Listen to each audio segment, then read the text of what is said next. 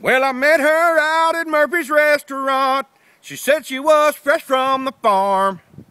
I remember thinking for a country girl that she went pretty well armed. We sat there talking by the lobster tank. I ordered her a sloe gin fizz. And when them chicken fried steaks arrived, she said, I like living like this. So I made her the queen of my double wide trailer with the polyester curtains and the redwood deck.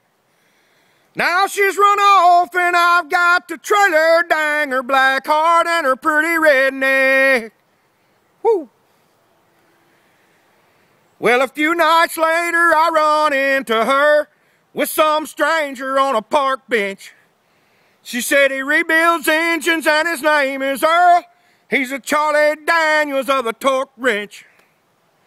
I whispered, honey, let's just go on home and have some money in the rings and watch TV. And as I walked her to the truck, Earl was crying, don't you leave me. I told him, this here's the queen of my double wide trailer with the polyester curtains and the redwood deck. Sometimes she runs and I've got to trade her. Dang her black heart and her pretty redneck.